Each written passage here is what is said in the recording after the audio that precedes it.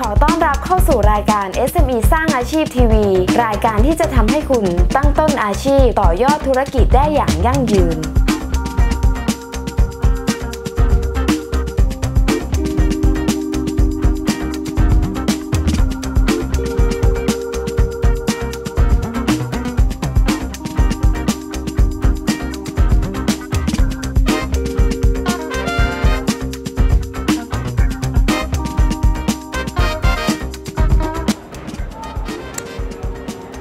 ค่ะ พบกับนกเช่นเคยนะคะ ในรายการ SME สร้างอาชีพทีวี รายการดีๆ ที่จะทำให้คุณผู้ชม ตั้งต้นอาชีพต่อยอดธุรกิจได้อย่างยั่งยืน วันนี้นะคะ ช่วงธุรกิจน่าลงทุนนกพาคุณผู้ชมมาเจาะลึกกับ แฟรนไชส์สเต็กกรุงใหญ่นะคะ ธุรกิจนี้มีความน่าสนใจและน่าลงทุนอย่างไร วันนี้เราจะไปเจาะลึกกันนะคะ โดยเฉพาะคนที่สนใจอยากจะเปิดร้านอาหาร หรือว่าอยากจะลงทุนเปิดร้านสเต็กคุณอย่าเพิ่งลงทุนนะคะ คุณต้องรอดูคลิปนี้ให้จบก่อนเพราะว่านอกจาก จะมีเคล็ดลับดีๆ จากผู้บริหารมาแนะนำแล้วนะคะ ยังมีโปรโมชั่นเด็ด ๆ มาฝากกันด้วยค่ะ พร้อมแล้วเราไปพบกับคุณนัทวัชรชัยสุดที่โชตไปพบกันเลยค่ะ สวัสดีค่ะคุณนัทสวัสดีครับค่ะ คุณนัทคะอยากให้คุณนัทช่วยแนะนำตัวอย่างเป็นทางการกับคุณผู้ชมอีกครั้งหนึ่งค่ะ สวัสดีครับ ผมวัชรชัยสุทธิโชตนะครับ กรรมการผู้จัดการบริษัท Easy Stay ครับ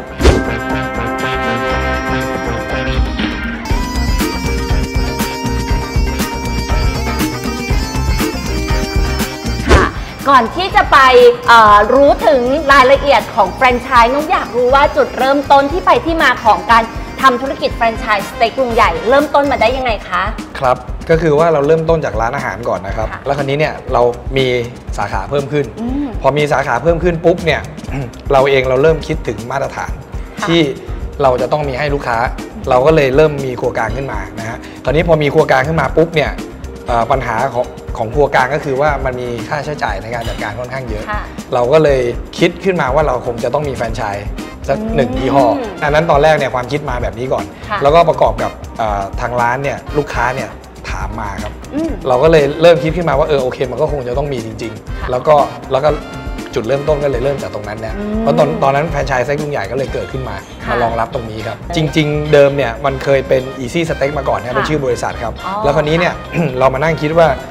แบรนด์เนี่ยเราอยากจะค่ะให้อ่าเขาเรียกว่าเข้าถึงง่ายๆนะฮะอืมคราวนี้การเป็นแบบว่าชื่อไทยหรือแบบว่าชื่อเป็นลุงค่ะเนี่ยมันดูเขาเรียกเข้าถึงง่ายกว่าแล้วก็ค่ะกันเองประมาณเนี้ยครับเราก็เลยขออนุญาตใช้ชื่อคุณพ่อค่ะ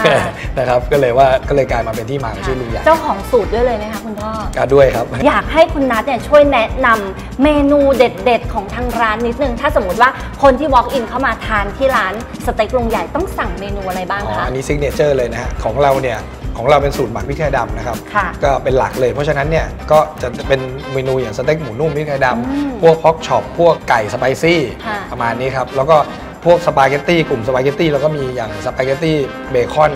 กระเทียมพริกแห้งอ่าอย่างจานเนี้ยครับค่ะอ่าโอ้โหน่าทานอันนี้มากๆแนะนำเลยนะครับอ่าครับ คุณนัทพอจะแนะนำได้ไหมได้คะว่าครับ ซอสเรามีซอสอะไรบ้าง อันนี้อันนี้ส่วนหนึ่งนะครับจริงๆค่ะแล้วเนี่ยบริษัทเราพัฒนาอย่างต่อเนื่องนะฮะอันนี้อ่าอันนี้คือซอสซอสเห็ดนะครับค่ะ อันนี้ซอสแจ่ว อันนี้ค่ะเป็นอ่าน้ำสลัดพริกไทยดำนะฮะค่ะอันนี้เป็น spicyครีมซอสค่ะอันนี้เป็นซอสพริกไทยดำอันนี้ตัวเอกเลยครับอืมแล้วก็อันนี้เป็นบาร์บีคิว อันนี้ก็คือคัตสึยากินะครับโหแบบซอสเยอะมากๆเลยนะคะ มีตั้ง 7 ตัวด้วยกัน ซึ่งถ้าคนที่ลงทุนแฟรนไชส์ก็คือจะได้ทั้งหมดแบบนี้เลย ใช่ครับ อืมค่ะ อยากให้แนะนำนิดนึงว่าจุดเด่นหลักๆ ของแฟรนไชส์สเต็กลุงใหญ่ของเรา น่าจะอยู่ที่ตรงไหนคะ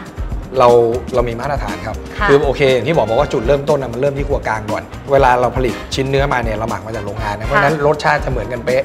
นะครับอ่าอันที่สองเนี่ยก็คือว่าเรื่องเรื่องซอสเนี่ยแหละครับเวลาลูกค้าแฟรนไชส์เอาไปเนี่ยสามารถที่จะเขาเรียกว่าปรุงสำเร็จได้ง่าย อ่าๆ เพราะฉะนั้นเนี่ยคือไม่ต้องมีความรู้ทางด้านการทำอาหารเลยเนี่ยค่ะ เราก็สอนให้นะครับ อ่า ที่บริษัทเนี่ยต้องบอกก่อนบอกว่าเรามีเชฟเนี่ยหลายคนนะครับ เพราะฉะนั้นเรามีอ่า ฝ่าย R&D อยู่ เวลาเราคิดสินค้าออกมาใหม่ๆเนี่ยเราจะค่ะเติมให้แฟรนไชส์เรื่อยๆ ปกติเนี่ยเวลาคนเอาธุรกิจอาหารไปทำส่วนใหญ่เนี่ยเขาจะคิดว่าแค่ทำอาหารเป็นก็จบแล้ว แต่จริงๆแล้วเนี่ยธุรกิจอาหารเนี่ยความยากของมันมันคือการจัดการนะครับค่ะแล้วก็ตัวนี้เนี่ยเรามีเขาเรียกว่าเป็นเหมือนกับแฟรนไชส์คลินิกเราดูแลหลังการขายนะครับ เราดูแลหลังการขายตลอดก็คือว่าเราทำให้ตั้งแต่สอนค่ะสอนนี่ก็คือว่า สอนสอนตั้งแต่อบรมนะครับอบค่ะอบรมเป็นทฤษฎีนะครับค่ะแล้วก็เวลาตอนไปเปิดร้านจริง ๆ เนี่ย เราส่งเชฟไปเปิดร้านให้ด้วยโอ้โหไปไปประกบกันตรงนั้น แล้วก็ค่ะความง่ายตรงเนี้ยมันมันง่ายหลาย ๆ อย่างฮะก็คือว่า พอเราไปอบรมตรงนี้ปุ๊บเกิดสมมติวันหนึ่งลูกค้าไม่เข้าใจหรือแบบอ่ายังติดขัดอะไรเงี้ยค่ะคือโทรมาปรึกษาได้ตลอดหรือจะกลับมาอบรมซ้ำกี่ครั้งก็ได้ ไม่เสีคิยดค่าค่าใช้ใช้จ่ายจ่ายโอ้ไม่เสียอันนี้แหละค่ะ คือแบบว่า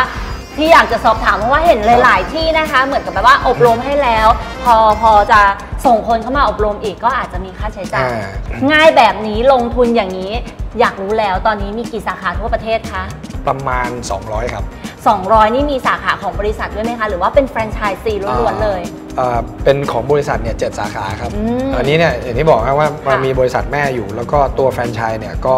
ก็ก็ส่วนใหญ่ก็จะอยู่ค่ะ ตอนนี้แทบจะทั่วประเทศแล้วครับหลายจังหวัดเนี่ยไปเปิดได้ค่ะหมดเราส่งได้ทั่วประเทศครับค่ะแพ็กเกจการลงทุนเริ่มต้นที่เท่าไหร่คะณตอนนี้นะครับ59,000ครับค่ะต้องแจ้งอย่างนี้ฮะอ่า59,000เนี่ย เราถ้าค่ะผมจำไม่ผิดนะ ประมาณ 20 รายการคือให้เยอะครับอืมเอาเป็นว่าคุ้มแล้วกันค่ะแล้วก็ถ้าเกิดลูกค้าเนี่ยอ่าต้องบอกว่าจริง ๆ แล้วเนี่ย บางคนเนี่ย เราเข้าใจว่างบประมาณอาจจะไม่เท่ากันนะครับค่ะก็เอ่อต้องเข้ามาคุยกันนะ บอกว่าอย่างรายการที่ให้ไป 20 รายการเนี่ย มันค่ะสามารถที่จะ ยืดหยุ่นได้ อย่าง 5 9 0 0 0เนี่ยเราอาจจะไม่ได้มีเก้าอี้ให้นะครับ อ่าค่ะแต่อย่างบางทีเนี่ยต้องบอกก่อนบอกว่ามันแล้วแต่ทำเลและขนาดร้าน ค่ะลูกค้าบางคนเนี่ยได้ทำเลที่เป็นอาคารพาณิชย์ไป อืมบางคนเนี่ยอาจจะได้ริมทางไป ค่ะหรือบางคนเนี่ยอาจจะได้ในห้างไปค่ะเพราะฉะนั้นเนี่ยหนึ่งงบเนี่ยไม่เท่ากันแล้ว เพราะอย่างพวกอุปกรณ์จานชามอะไรอย่างนี้เราไม่ได้ขาย แต่ถามว่าปรึกษาได้ไหม อย่างที่บอกฮะทำมันให้เป็นเรื่องง่าย ๆ ก็คือว่าคุยกันได้หมด อืมบางทีลูกค้าบางคนเนี่ยไม่รู้แหล่งว่าเอ้ยจะค่ะ ซื้อจานที่ไหนถูก โอเคบางทีเราแนะนำให้อย่างที่ผมบอกครับบอกว่าในส่วนของอุปกรณ์เนี่ยมันคุยกันได้ง่ายครับค่ะ แล้วคุณนัทมีแบบว่าไกด์ทำเลหรือว่าแนะนำทำเลสำหรับการเปิดร้านสเต็กที่แบบว่าคิดดีถือว่าเป็นแบบว่า 5 ดาวเลยอะไรประมาณเนี้ยค่ะคุณนัอัทนนี้หลักๆเลยนะฮะผมค่ะเอาคนผ่านเยอะก่อนนะครับอ่าผมให้คิดถึงง่ายๆเลยใกล้ร้านสะดวกซื้อนะครับอืมใกล้โรงเรียนใกล้ที่พักอาศัยค่ะแล้วก็ประเภทว่าแบบจอดรถง่าย หรือถ้าเกิดไม่จอดรถง่ายมันต้องเข้าถึงง่ายอืมๆประมาณเนี้ยครับ อยากรู้แล้วล่ะค่ะว่ากำไรเนี่ย จะได้สักประมาณกี่เปอร์เซ็นต์คะ ถ้าสมมุติว่าในแต่ละจานอ่าแต่ละจานก็อยู่ประมาณ 40-50%นะครับ แบบยังไม่ได้หักพวกค่าแรงค่าเช่าอะไรประมาณนี้ครับ ก็ถือว่าพอสมควรอยู่ครับค่ะโอ้โห ครึ่งครึ่งๆเลยนะคะอ่าถือว่าเป็นครึ่กำงๆไรที่แบบว่าโอเคมาก ๆ เลย ใช่ครับสำหรับคนที่ลงทุนแฟรนไชส์กับทางสเต็กกรุงใหญ่ หลัก ๆ เลยจะต้องสั่งอะไรจากทางบริษัทบ้างคะ ครับ ก็หลัก ๆ ก็คือพวกหมูเนื้อไก่นะครับ ที่ว่าหมักสำเร็จแล้วที่ค่ะอ่าแปรรูปพร้อมเอาไปปรุงได้เนี่ยนะค่ะแล้วก็พวกซอส นะครับ พวกนี้คือตัวหลักๆที่ต้องบังคับ แต่ส่วนพวกองค์ประกอบรอบจานเนี่ยพวกเฟรนช์ฟรายอะไรอย่างเงี้ยอ๋อไปหาเอาเองได้แต่จริงๆ บริษัทเราก็ supply ให้ครับ ก็คือพูดง่ายๆว่าเรามีให้จริงๆ ครบ port นะครับอืมแล้วก็อ่าอยู่ที่ลูกค้าจะสั่งตรงไหนบ้าง แล้วก็ในอนาคตเนี่ยมันจะมีของที่อย่างที่บอกแจ้งตอนต้นนะว่า เรามีงานพัฒนาตลอด บางทีมันมีเมนูใหม่ๆครับ เมนูใหม่ๆมาปุ๊บเนี่ยเราก็อาจจะมีที่มันเป็นสูตรอื่นค่ะซึ่งอันนี้เนี่ยมันไม่เหมือนใคร เราเองเราพัฒนาอยู่ตลอดเวลาครับอืมในเรื่องตัวสินค้า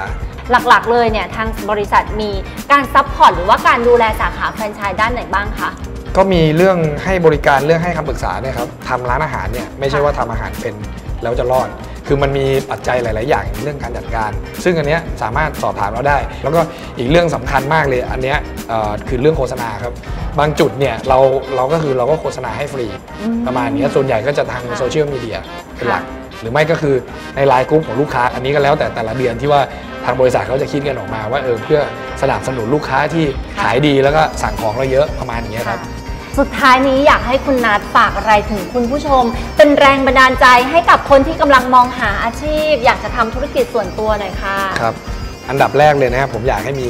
ใจก่อนครับก็คือว่าเวลาทำร้านอาหารเนี่ยมันต้องมี passion นะคนทำร้านอาหารอันดับแรกนี่คือมันต้องมีใจบริการแล้วก็ ต้องมีความละเอียดนะคือผมเห็นลูกค้าที่ประสบความสำเร็จเนี่ยอันดับแรกคือเขาตั้งใจก่อนแล้วเขาทุ่มเทนะแล้วก็เขาเดินตามเราอืมอย่างเช่นแบบโอเคอ่ารูปแบบการจัดจานการจัดร้านหรือการค่ะการทำงานที่ได้มาตรฐานเนี่ยฮะค่ะแล้วเขาก็ประสบความสำเร็จนะครับอ่าแล้วก็สุดท้ายเนี่ยผมคิดว่าน่าจะมอบโปรโมชั่น ที่เราคุยกันไว้ตั้งแต่ตอนช่วงต้นรายการตั้งแต่นะครับ ต้นรายการใช่ไหมคะที่เราบอกว่า เอ๊ะ ต้องดูเราให้จบก่อน อ่าแล้วคุณจะได้รับโปรโมชั่นพิเศษค่ะ ใช่ คุณนัทมอบโปรโมชั่นอะไรพิเศษสำหรับ SME สร้างอาชีพคะ เอ่อส่วนลดครับ 30,000 บาท ให้เพียง 5 ลาย ค่ะรายละ 30,000นะครับรายละ ค่ะ 35,000ราย ขอบคุณมาก ๆ เลยนะคะคุณนัทสำหรับโปรโมชั่นดีๆ ที่มอบให้กับแฟนคลับ SME สร้างอาชีพสำหรับใครที่สนใจอยากจะลงทุนเปิดร้านสเต็กกับแฟรนไชส์สเต็กกรุงใหญ่ ต้องไม่พลาดรับโปรโมชั่นนี้นะคะสำหรับใครที่สนใจนะคะ พร้อมลงทุนติดต่ อเข้ามาตามเบอร์โทรที่เราขึ้นไว้ให้ในด้านล่างนี้เลยนะคะอ่าวันนี้นะคะนกและคุณนัทก็ต้องขอตัวลาคุณผู้ชมไปก่อน และพบกันใหม่ในโอกาสหน้า สวัสดีค่ะ